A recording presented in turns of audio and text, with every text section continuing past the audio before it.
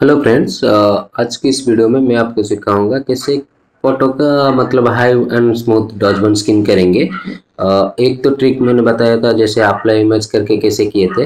तो आज की इस वीडियो में मैं एक और एडजस्टमेंट ले लेके कैसे बनाएँगे उसके बारे में सिखाऊँगा।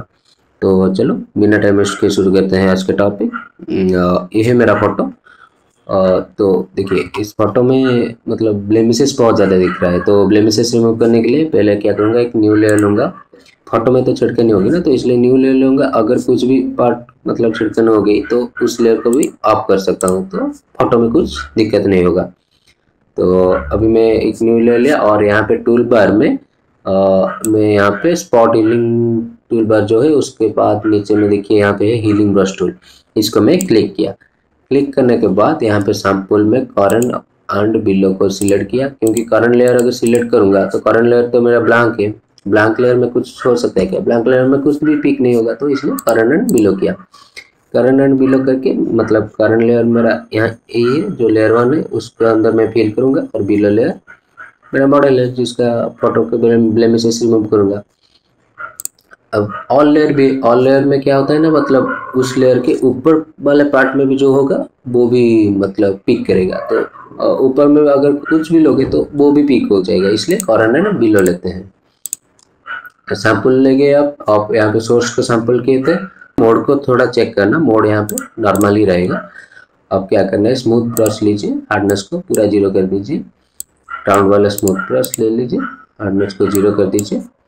अब क्या करना है? सिंपली लेयर वन में आप जो भी फ़ोटो में ब्लेमिसेस दिख रहे हैं, उसको रिमूव कर लीजिए। सिंपली ऑल्ट क्लिक करके बाहर में क्लिक कीजिए और ब्लेमिसेस पार्ट में पेंट कीजिए।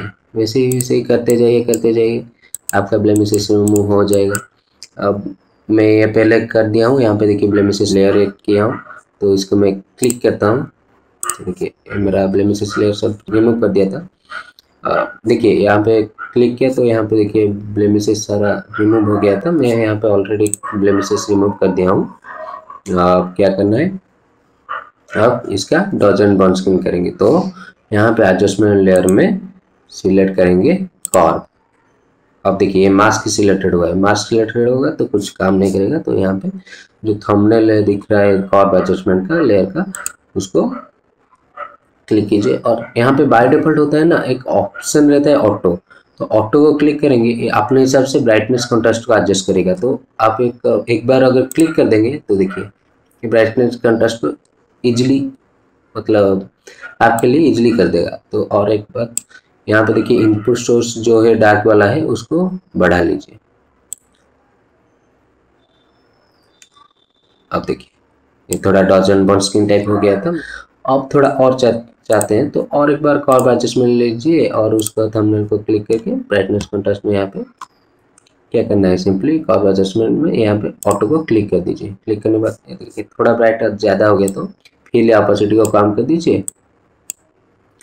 अब देखिए ये मेरा फ़ोटो हो गया। आप चाहते हैं तो दिखने चाहते हैं तो मैं यहाँ पे दिखा देता हूँ। यहाँ पे हिस्ट्री हिस्ट्री में देखिए, ये मेरा पहला फ़ोटो था।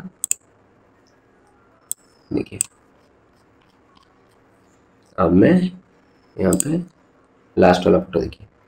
देखिए, कुछ फ़र्क दिखा अब देखिए, ये मेरा पहला फ़ोटो और ये मेरा कॉब एडजस्टमेंट लेके लास्ट में जो फ़ोटो बस इतना ही दोस्तों। Thank you